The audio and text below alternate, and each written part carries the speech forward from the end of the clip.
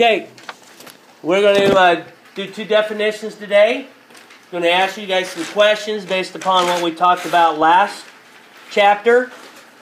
Um, this quiz that we took was not a full test, of course. It was it'd be like a test that was worth is worth half as much. So it's like worth 50 points. So what I did is I put it on the grading program, and it counted it half as much as a test. Okay, so we take two of these to make one normal test grade of what we've done in the past. So keep that in mind when you look at your grade. the grades were put in on Friday, so if you have an Infinite Campus, you're able to check those out and look at those. This whole unit here is about bonding. And bonding is a major part of chemistry because the only way that uh, we can form a new substance where we have two or more substances put together, two more different atoms put together, is by bonding. That's the only way. So the two major type of bonding is on that first page. They're real simple definitions. They don't get much simpler than those two definitions. Okay? Ionic bonding and covalent bonding. Now there's two types of covalent bonding that we're going to look at. There's what's called polar covalent, which means when these two atoms or more atoms bond together, they create a bipole molecule, bipolar molecule. Okay, bi, what do you think means by bipolar? Two polars. Two polars, opposite, right? Like north and south pole. You take a look. If you look at a magnet, it's what? They're north and south on there, we know they're opposite. So it's kind of like a magnet. One side's going to be a little bit of a negative charge, the other side's going to be a little bit of a positive charge. So they're called bipolar. Okay? Because they're opposite charges on each end of that molecule. Okay? Polar molecules. And then we have some that will be called nonpolar, where there's not any, there's not much difference between one side and the other when you look at their charges. Okay? Uh, the ionic bonding, uh, there's big difference in their charges, and so they don't what we call share, but there's an actual movement of an electron from one atom to the other, creating two opposite charged atoms. And this is a model here of something that we would model that would be an ionic structure. Okay? It's totally different look than from something that's covalent. Ionic looks totally different when we model it from something that is covalent or molecular. Okay? So this would be like covalent. If you notice, this is a uh, model of sodium chloride. And the chlorines are the styrofoam, it's a little bit larger, and the sodium's the one's a little bit smaller. And so, um, if you notice, there's usually for every one sodium, there's one chlorine. If we make this bigger, it would continue on in that, that ratio, one to one.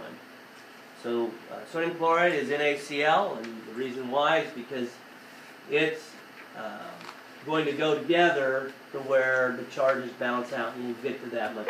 We'll get to that later on this week. Okay. So the two definitions we're going to take a look at are ionic bonding and covalent bonding. And those are the ones we're going to really focus upon. There's also metallic, but we don't really talk about metallic a whole lot. It's mostly ionic and covalent. So I'm going to put these two definitions down. We're going to talk a little bit about them. Um, I have some examples over here drawn out. You don't have to draw these out. This is just the visual to kind of show you what they look like. Okay, some different elements. And we'll talk about what those are. Okay? So ionic bonding.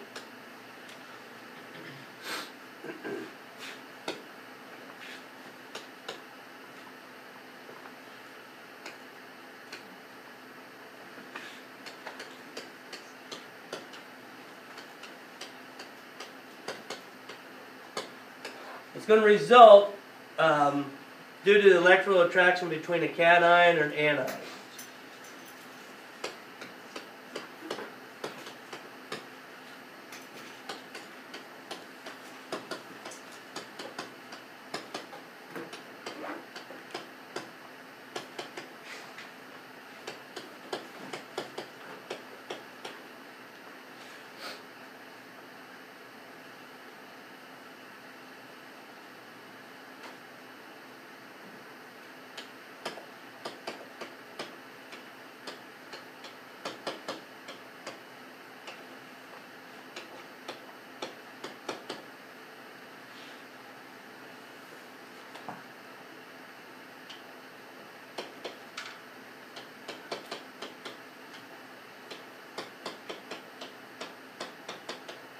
I did it in a different order in the book, yeah, but basically the same thing.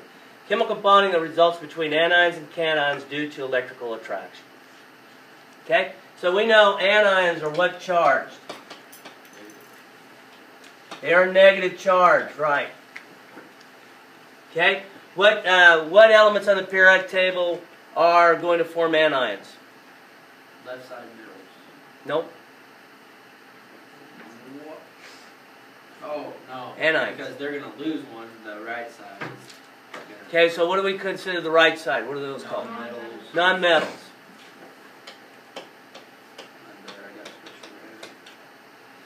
Okay.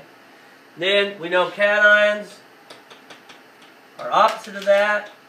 They are positive, and they're pretty much going to be the ones that are considered metals. Okay.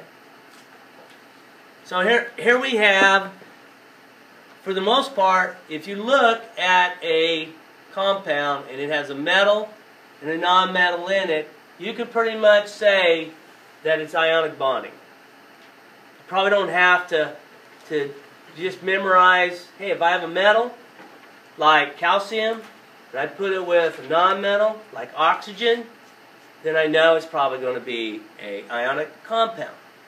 And what happens is that metals tend to, are willing to give up some electrons up to a certain point. You guys remember what point do they not give up any more electrons? So we've got these elements here. We know they, they give up electrons. To what point will they stop giving up electrons, Hunter?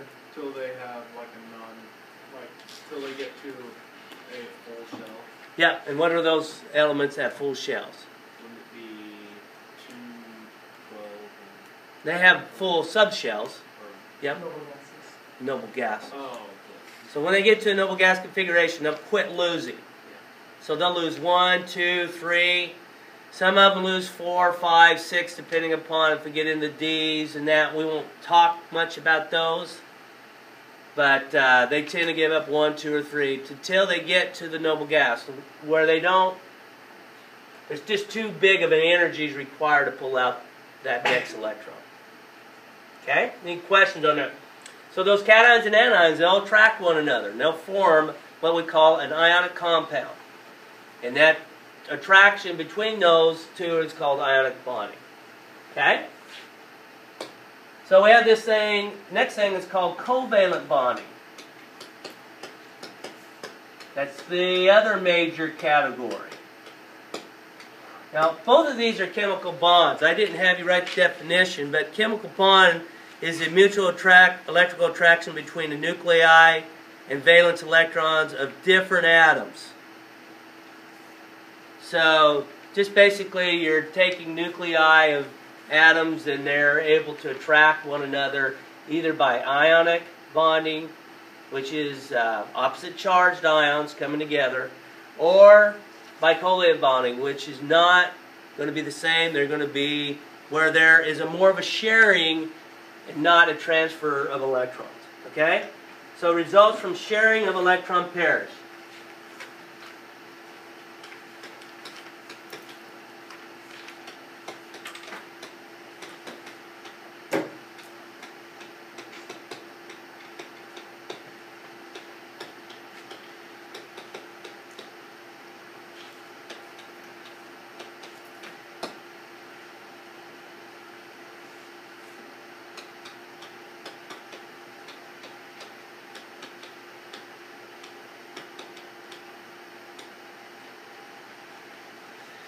So here's my question to you.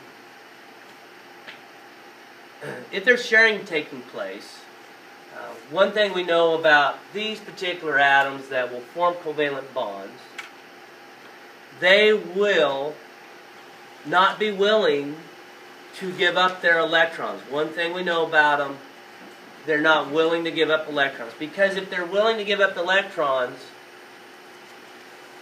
then they'll probably form an ion like a cation.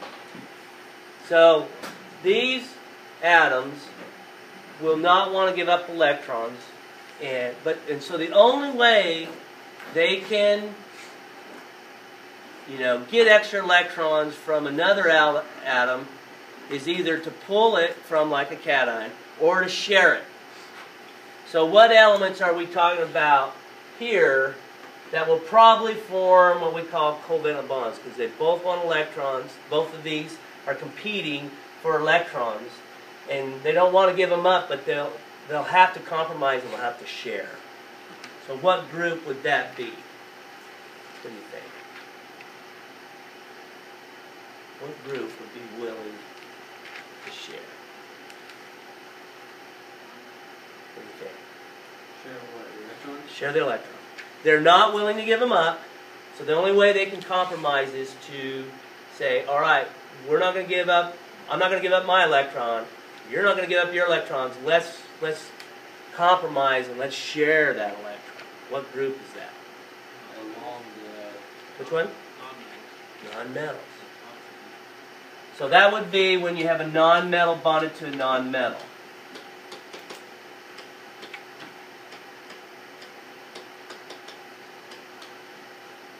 That's where, now, metals, they don't, you know, they're, they're two, one, two, or three electrons they have their own shell.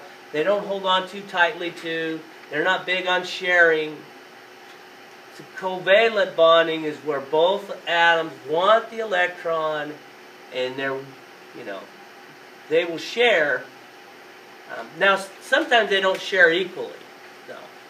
They'll share, but it's you know, like you have maybe a gift that you were given to you by a grandparent or by your parents, and say, all right, you guys need to find some way to share this so that you both can use it.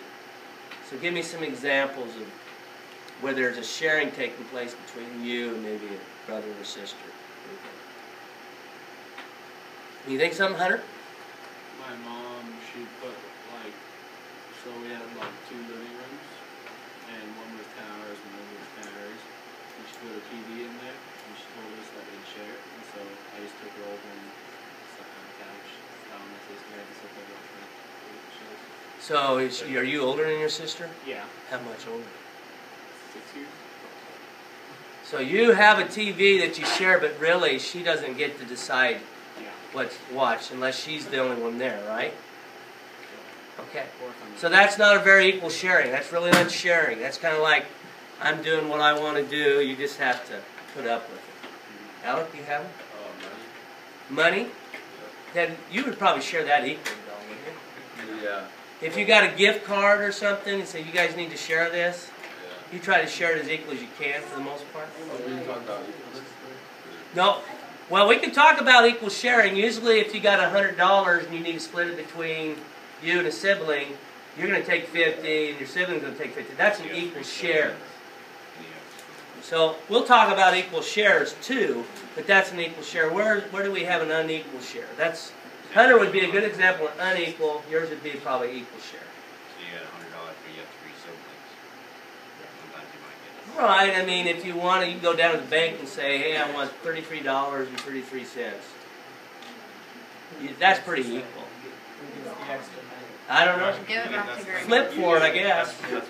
That's been a little bit goofy on that Have to do a whack-a-mole tournament for it. See who gets it. Who has an unequal share? I'm thinking of um, some other things, kind of like the computers. Anybody share computers in their family Oh, to where you use them? Yeah.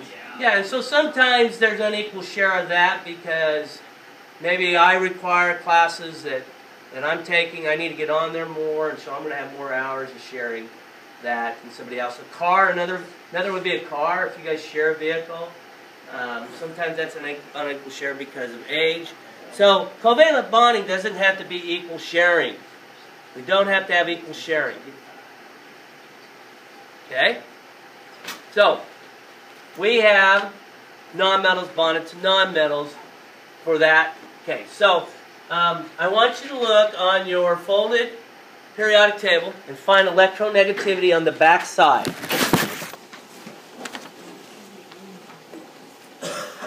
Find electronegativity on the back side.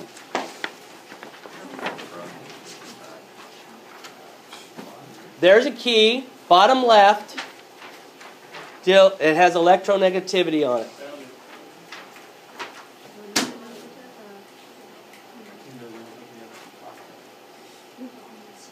Should be the top right hand number in each of those boxes. So on the opposite side, it's the side that does not give, um, doesn't give the name, it just gives the symbol. Okay? So give me some elements that have high electronegativities. What's the highest? Fluorine is 3.98. Okay, so fluorine, when it shares, it's never probably going to be equal share unless it bonds to itself. So if fluorine bonded to itself, then the sharing would be exactly equal. It'd be perfect share.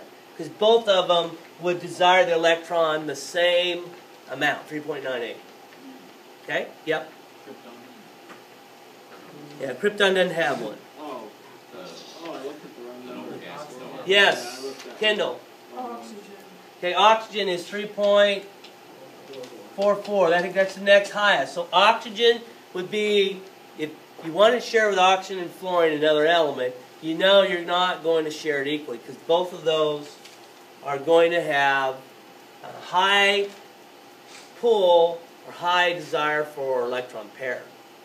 Why don't, why don't the noble gas have one? Okay, good question. The noble gas, if you look at electron configurations up here, here's a noble gas configuration, and we'll just pick on a neon. Neon is 1s2, 2s2, 2p6.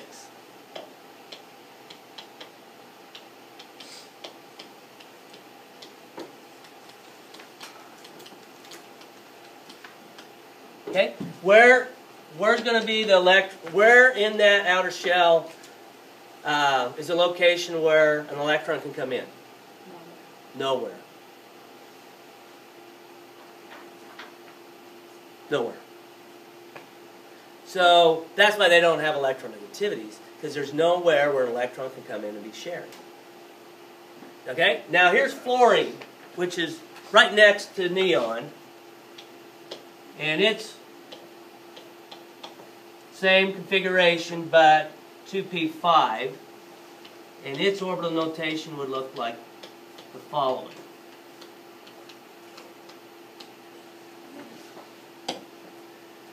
Okay, so look, it's got one location. The atom is really small for fluorine. So that electron, when it comes in, it comes in and gives off a lot of energy.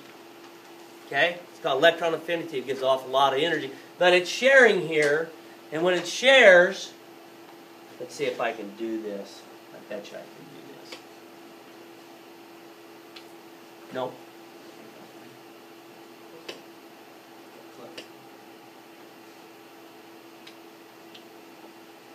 Okay? When it shares and pulls in another, this would be from another electron it's sharing, then it needs just that one. And then, then it's full. Okay? But that sharing of that one, fluorine is a definite uh, high pull for that electron that's being shared. Question. What does xenon have an electron, uh, electronegativity? Because xenon shell's so big that uh, it gets to the point where um, it can start forming bonds. So there's more of an acceptance for for for electrons to come in and uh, share. Yeah, but for the most part, that whole group is we can say non-existent when it comes to sharing. All right. Um, let's look at oxygen. Oxygen is 3.44. I'll put this under oxygen. Here's oxygen, and uh, we'll keep that red. That's something different. Okay, so oxygen is uh, 1s2, 2s2, 2p4.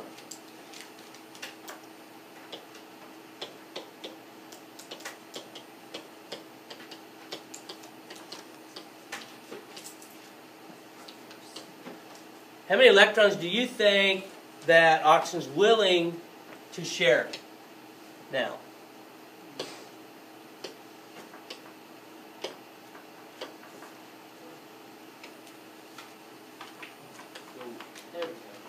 Okay?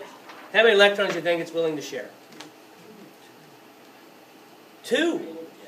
Right here, right here. Okay, oxygen.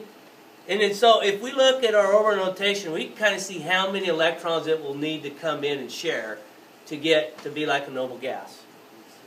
Okay? All right, we're running out of time. What I want to do is I want to give you three ways in which you can determine if something's ionic or covalent other than looking at if it's a metal, non-metal, or non, uh, non-metal bonded to a non-metal, which are excellent ways to do that if you don't have numbers to look at. Okay? All right. Three things we want to look at. Okay? There's three types of bonding. There's ionic.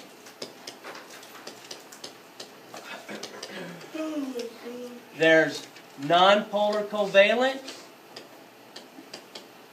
Remember, I talked about that earlier, that uh, when we look at nonpolar covalent, it means it's a compound.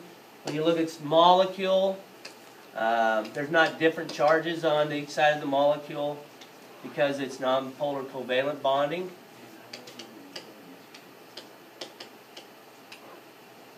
And then we have polar covalent, meaning that there's an unequal share of an electron that is being shared. So we can have unequal shares. Nonpolar is going to be equal shares. And ionic bonding is going to be so big of a difference that we can't say it's sharing anymore. We, we know it's going to be forming of a cation and anion. So we know ionic is probably a metal, non-metal combination.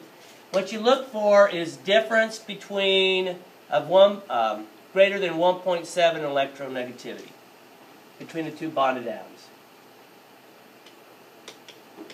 I'm going to abbreviate difference.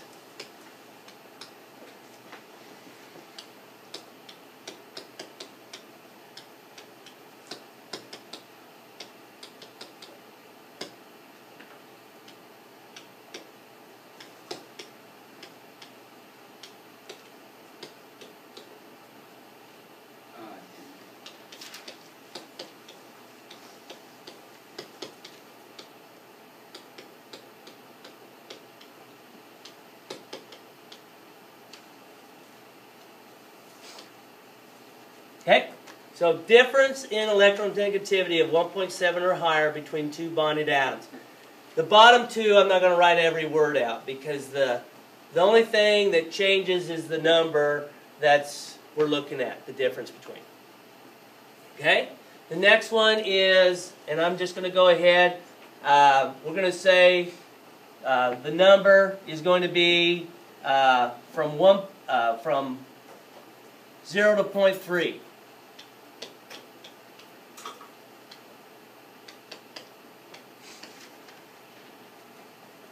So, difference in electronegativity of 0 to 0.3 between two bonded atoms. And then the bottom one, if it's covalent, the difference is going to be from 1.3 to 1. Point, I'm sorry, 0.3 to 1.7.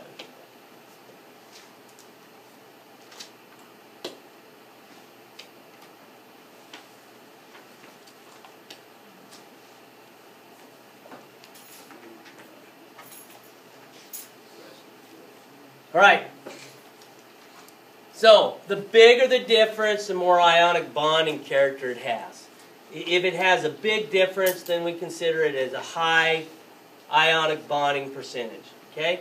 Uh, non-polar covalent, the more they're willing to share, the closer their, their electronegativities are.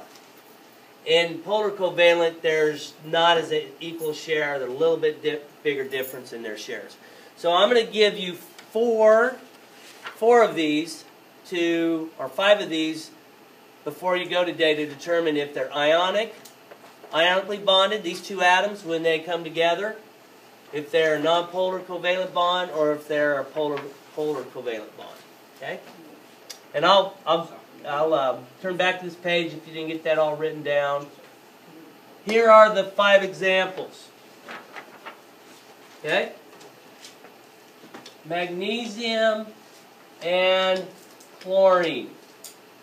tell me if it's ionic, polar covalent, non-polar covalent. You have to take the higher electronegativity and subtract the lower one from it. Okay? Um, let's do this one. Uh, phosphorus and sulfur.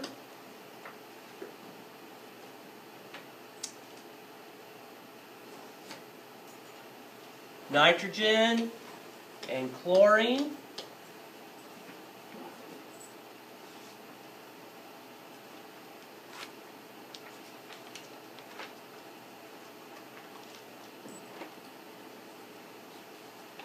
Iodine and phosphorus.